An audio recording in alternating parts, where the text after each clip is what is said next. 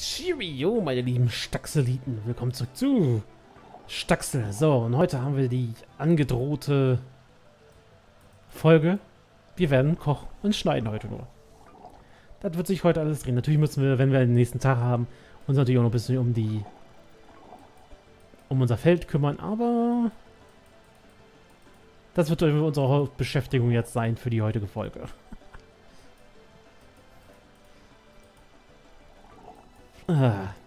So. Ja, ich habe überlegt, so, hm, welche Themen können wir dann besprechen, weil hier jetzt ganz nochmal mal zu sagen, ja, jetzt schneiden wir hier, jetzt kochen wir da, jetzt schneiden wir wieder hier. Ist ein bisschen langweilig und doof. ähm, mir ist gerade als erstes Thema eingefallen, so, so, so Kinderserien. Ja.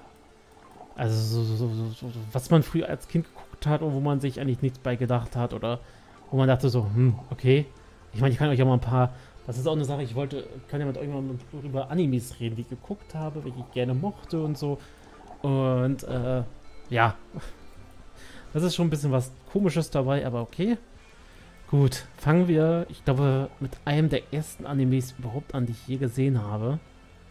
Das liegt nicht irgendwie am Alter oder keine Ahnung. Das war Mila Superstar damals. Für die, die es vielleicht nicht wissen, Mila Superstar drehte sich um halt um das Mädchen Mila, die ähm, Volleyball gespielt hat, immer berühmter, immer besser wurde und so. Ich kann mich leider absolut nicht mehr so ganz an alles erinnern. Ich weiß, hatte, wie hieß die Freundin? Hitomi oder so? Die hatte eine Freundin gehabt, die aber auch gleichzeitig ihre Rivalin war.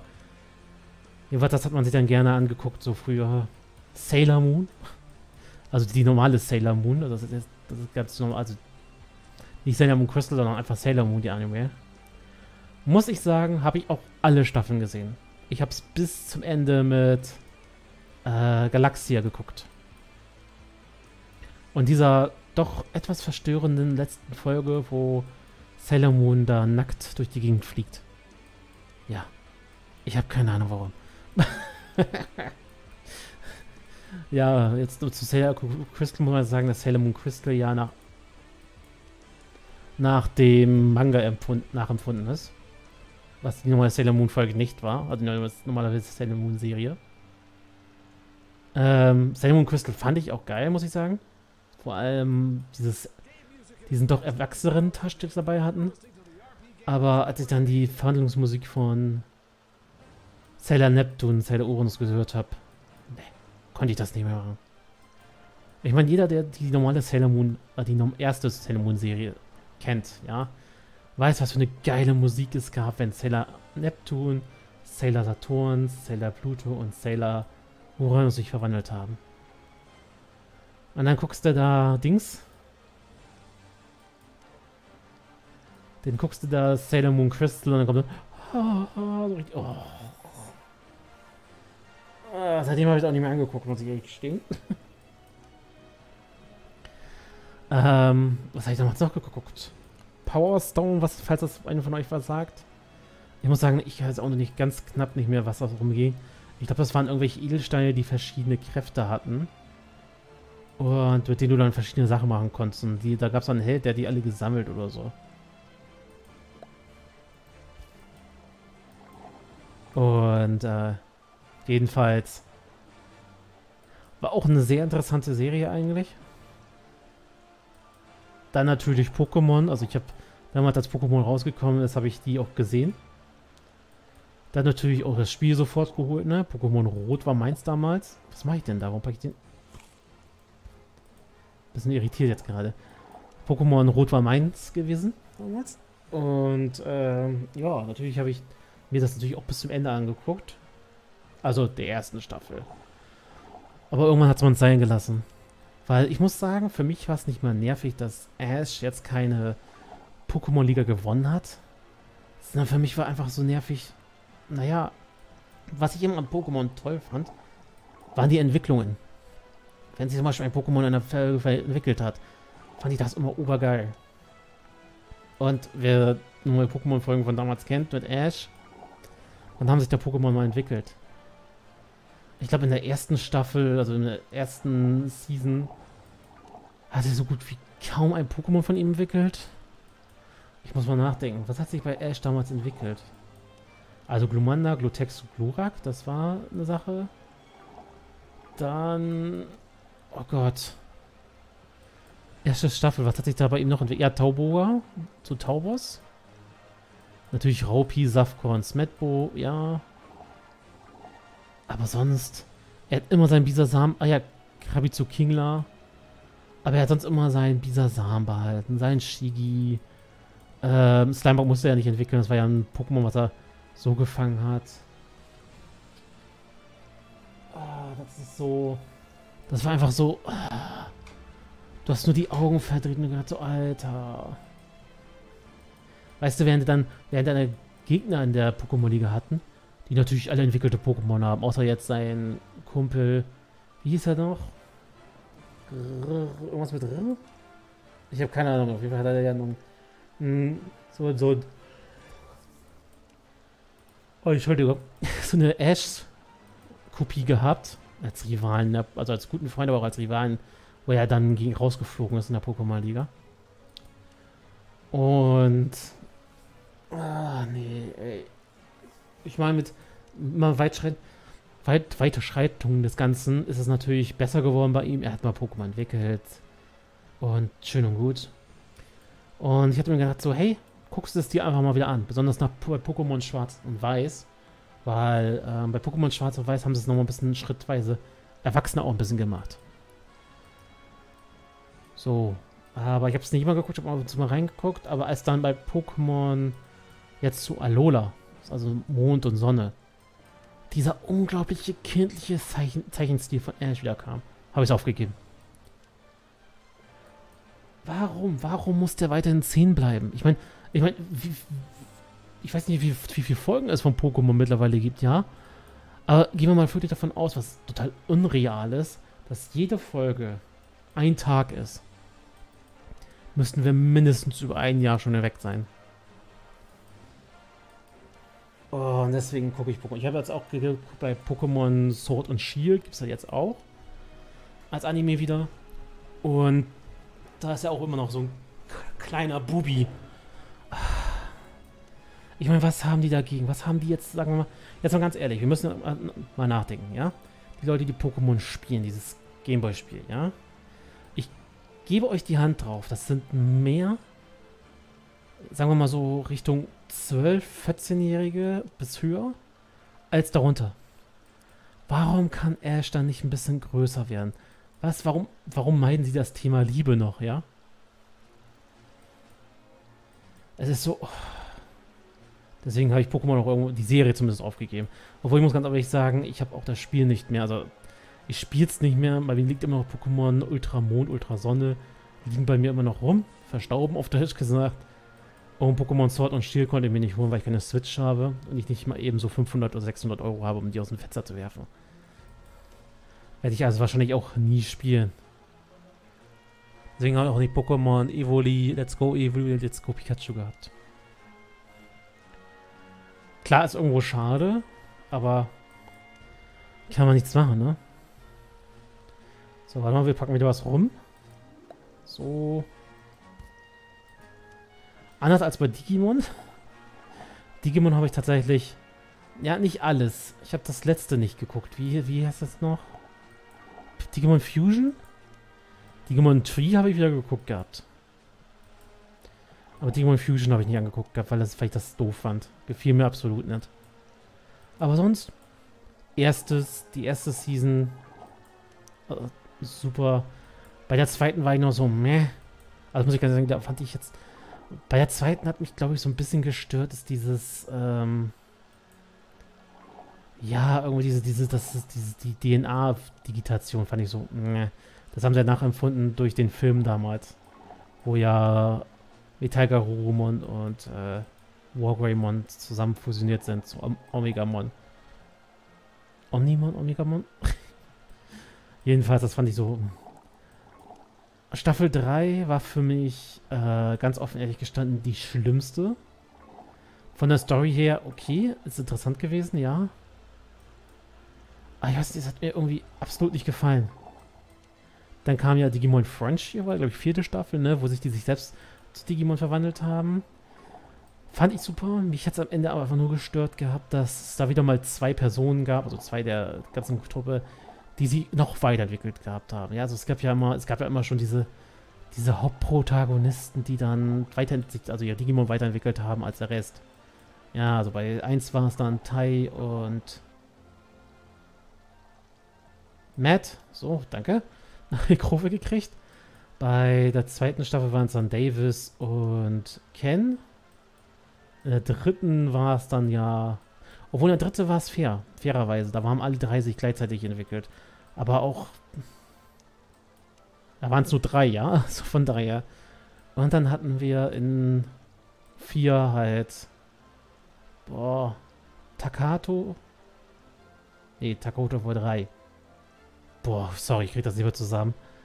Äh, da auch die beiden, die sich sogar noch weiterentwickelt haben als die anderen. Das fand ich so, ne. Finde ich doof, muss ich ehrlich gesagt. Bei Teil, bei Nummer 5, also Season 5, war es wieder anders. Hatten wir wieder nur drei Digimon-Trainer, die halt alle zusammen die gleichen Stufen erreicht haben. Okay, am Ende waren es vier gewesen, ja. Aber sie haben alle zusammen die gleiche Stufe erreicht. Ja, das fand ich dann auch ganz gut. Und äh, deswegen, Digimon war immer so, fand, fand ich immer schön.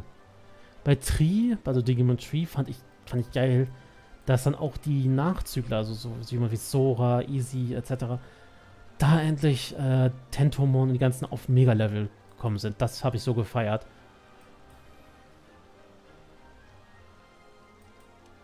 Ist halt schon so, ne.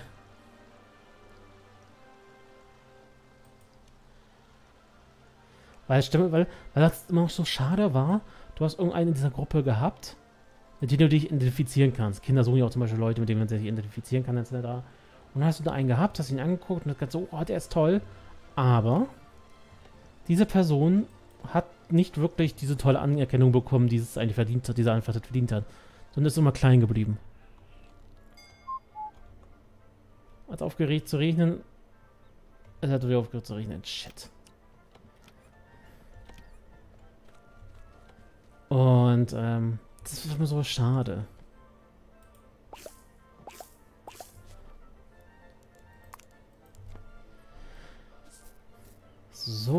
Eigentlich ist das doof, dass sie noch Pflanz pflanzen, aber ich mache, glaube ich, die letzte Reihe hier dann zur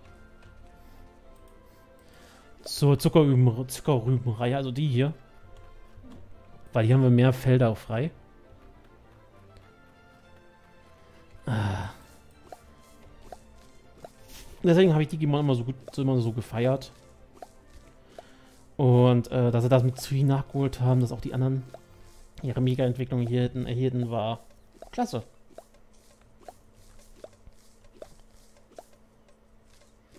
So, oh Gott, Alter. Jetzt natürlich die 10.000 vom Mais sammeln.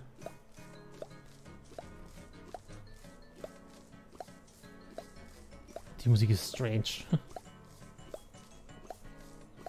So, was habe ich denn noch geguckt damals? Nun, wenn wir bei Sailor Moon waren, muss ich zugeben, muss ich ganz deutlich, äh, muss ich einfach ganz, ganz fest zugeben, dass ich damals auch ähm, Doremi geschaut habe. Glaube, im Original heißt das Magical Doremi, also Magical Doremi. Ähm, ja, ich habe es geguckt. Ich fand es interessant damals. Als kind, also ich war, ich war ja jung noch gewesen, ja, also Mal vorweggeworfen. Ich war noch jung, ja. Ich fand es halt interessant. So, der Anime war für mich interessant, also habe ich ihn mir angeguckt, fertig. Und ich meine, damals hatten wir Fernseher, ja. Also, wir müssen aber sagen, da war ich ja, das war noch eine Fernsehgeneration, Leute. Da war nichts mit Internet, YouTube und so. Das muss Fernsehen gucken. Und dann habe ich mir das Ironie angeguckt mit den drei kleinen Mädchen, die sich da in Hexen verwandeln können. Aber auch nicht lange. Ich glaube, irgendwann gab es einen Punkt, wo ich dann aufgehört habe zu gucken, weil es mir nicht mehr gefiel. Aber sonst habe ich es doch einfach geguckt, muss ich ehrlich zugeben. Ähm, Pretty Cure gehört auch dazu. Auch wenn ich mich bei Pretty Cure um Gottes wenn ich mehr, äh, nicht mehr erinnere, worum es ging. Ich glaube, das Einzige, was mir heutzutage noch von Pretty Cure im Kopf geblieben ist, ist der deutsche Opening-Song. Kann ich euch mal raten, macht einfach mal, gebt einfach bei YouTube mal ein Predicure, Cure, German Opening oder so. Dann wisst ihr, was ich meine. Und, äh, ja, bei, bei, ich glaube, bei Pretty Q war es eigentlich auch ganz gut gewesen. Das waren halt äh, zwei Mädchen, die sich da verwandelt haben und gekämpft haben. Die eine war die schlaue und gebildete. Und bei der anderen hast du halt so das Sportast gehabt. Ja, also halt wieder was für jeden so teilweise dabei. Aber wie gesagt, der Rest, ich weiß nicht mehr, worum es ging oder sonstiges. Dann, ja, Schande auf mein Haupt. Ich habe ähm, auch Dings geguckt. Wedding Peach. Die, die sich da in einem, die sich da in Hochzeitskleidern verwandeln und so. Muss aber ehrlicherweise zugeben, auch wenn das ein bisschen seltsam war, dass die Story einfach geil war. Ich meine, es ging um diese drei Mädchen, ja. Und ähm, dann passierte das Übliche. Die Hauptheldin ver verliebte sich in den blonden Schönling. Ba, ba, ba. Und dann gab es natürlich noch den komischen Typen, der die Blonde immer, also die Hauptprotagonistin geärgert hat. Den mochte sie nicht und bla bla, also das Übliche. Und dann ging es irgendwie so weit irgendwann, dass ähm, dann sie sich dann doch in diesen Typen verliebt hat, der aber dann zu einem Bösen wurde und gegen die anderen gegen sie und ihre Freundin gekämpft hat und es war einfach dieses so Plot, es gab Plot-Twists einfach. Als Kind hätte ich gesagt so, hä? Aber so jetzt, wenn du jetzt so als Erwachsener, also nicht als Erwachsener, aber halt schon als Jugendlicher, dann sagst du halt so, wow, toll. Ähm. Ich hätte gedacht, wir ko kochen jetzt mal gleich ein bisschen was an Konfitüre, auch wenn wir schon hier stehen.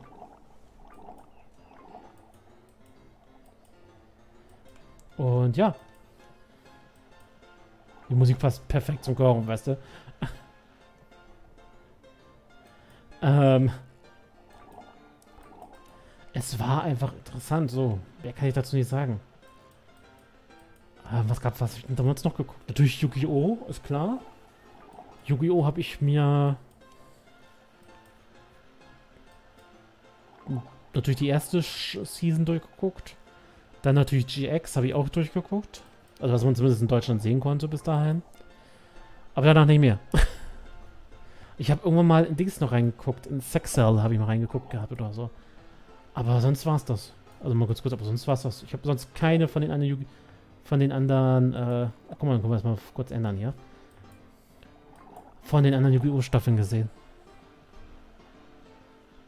Ja, okay, doch, 5Ds habe ich auch bis zu einem gewissen Grad geguckt gehabt. Aber da hat auch, da hat auch äh, RTL 2 damals nicht mehr, mehr, also mehr gezeigt gehabt. Aber ich muss sagen, mir wurde das bei Yu-Gi-Oh! irgendwann zu viel. Diese ganzen neuen Spielformen waren einfach so. Äh. Also mit Syn Synchrobeschwörung und so kam ich noch einigermaßen klar, ja. Aber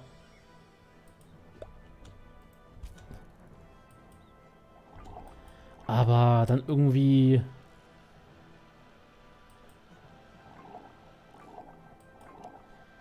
Aber dann irgendwie... Was das? Pendelbeschwörung und, und, und Xyz-Beschwörung.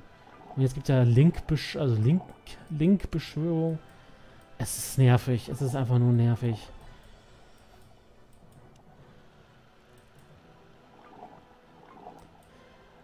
Ich genieße es wirklich, deswegen ist auch eines meiner Lieblingsstacks das Edelstein-Ritter-Set.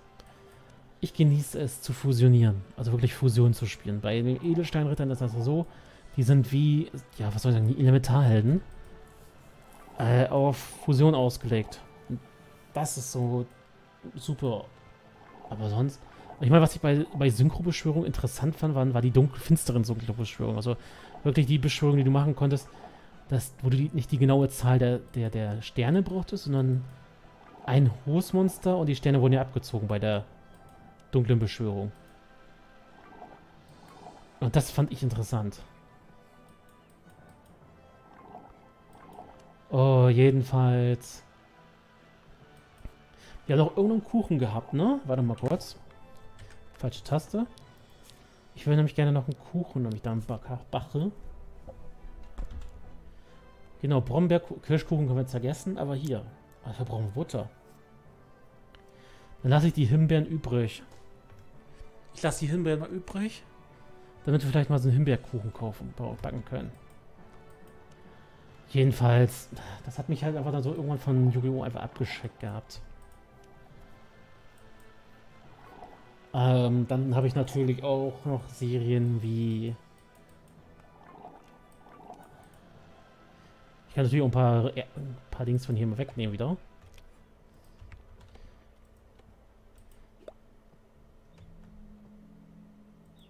Ich will davon gleich ein schönes Bild machen.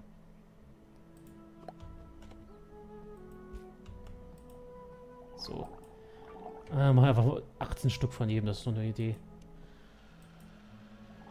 Jedenfalls, ähm, oh, ich heute Nacht damals geguckt. Captain Future sagt bestimmt wenigen was. Saber Rider. Auch was ganz Großes gewesen. Inuyasha habe ich natürlich auch geguckt gehabt. Ähm, ich muss sagen, Inuyasha war interessant und auch schön gemacht, ja. Aber es wurde chaotisch irgendwann. Also es ging dann kreuz und quer mit der Story. Der hat was gemacht, der wollte was, der tut das, der tut dies. Und dann am Ende sagt er so, was? Und da kann man halt dann irgendwo durcheinander so, was? Was willst du jetzt? Aber sonst, wie gesagt, Inuyasha auch sehr schön gewesen. Gott, muss man zurückreden. Dann einer der Animes, der mich damals was ein bisschen verstört hat. Ranma ein halb. Absolut kein Kinderanime. Denn es ging einfach nur um total bekloppt sein, Nacktheit, ja und Sex. Es gab zwar keine richtigen Sexszenen, hast du nicht gesehen, aber es ging schon so irgendwie in diese Richtung halt und denkst dir so, what? Ich habe ihn damals gerne geguckt gehabt, weil ich einfach diesen Humor, diesen total kranken, bekloppten Humor mochte. Aber, wie gesagt, war einfach nichts für Kinder sonst. Dragon Ball natürlich, ne? Also Dragon Ball auf jeden Fall. Auch durchgeguckt bis zum Video. Dragon Ball Z natürlich auch. Aber halt nur das Deutsche. Ne? Und ihr wisst, was bei den deutschen Deutschen passiert, bei den deutschen Anime-Folgen und so. Richtig. Sie werden zensiert bis zum... Geht nicht mehr. Kommen wir, kommen wir davon eigentlich nochmal... Haben wir da Marmelade von? Nee. Gut. Dann Erdbeeren. Jedenfalls, ey. Dann kam natürlich auch Dragon Ball GT. Und Dragon Ball GT konntest du dir im Deutschen überhaupt nicht angucken. Da war so viel geschnitten, aber wirklich so unglaublich viel. Die Stories haben irgendwann keinen Sinn mehr gemacht. Ich habe mir dann Dragon Ball GT auch nochmal im Dings angeguckt, nachhinein. Ähm, Japanische mit englischen Untertiteln, aber auch mit englischer Synchro und so weiter. Aber auch selbst da fand ich es nicht toll. Das meist mich am meisten gestört hatte, das hatten sie am Ende aber so ein bisschen wieder hin, versucht hinzukriegen, war dieses, das ähm, Son Goku Only. Also wirklich Goku die ganze Zeit alleine. Nur immer alles geschafft hat, gesiegt hat und Bahas nicht gesehen. Am Ende haben sie ja nochmal gemacht, dass dann da Vegeta war und mit ihm zusammen fusioniert ist.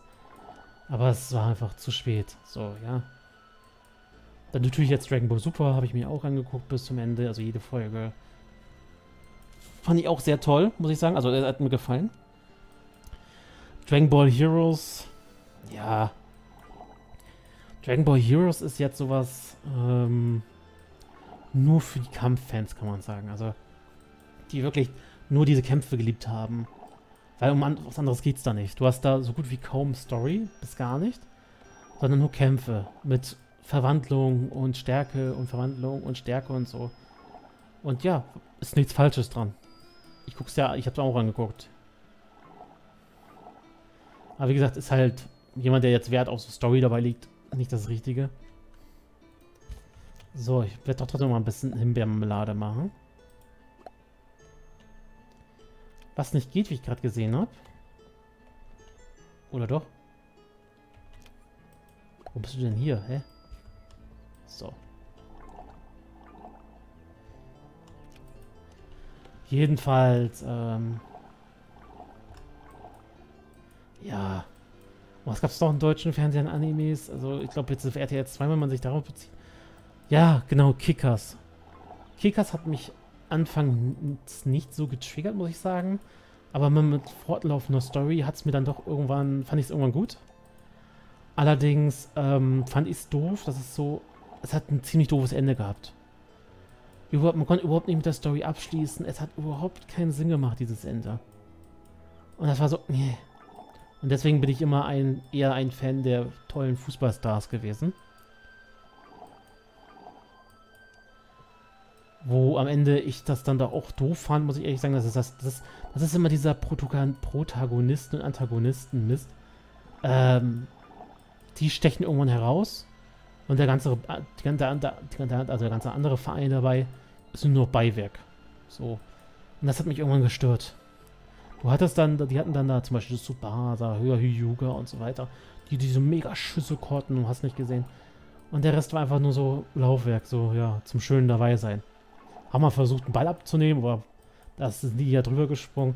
Das fand ich so ein bisschen doof. Haben sie leider mit, äh, mit, dem, mit der Wiederauflegung von tollen Fußball, das haben sie ja gemacht, so eine Wiederauflegung. Also Neuauflage. Haben sie leider nicht geändert gehabt. Und das war so, nee.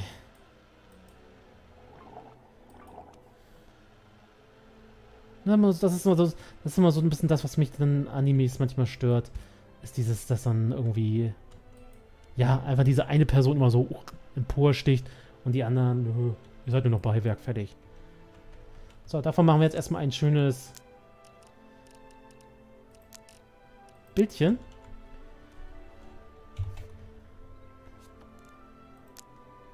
Denn das haben wir heute brav gekocht.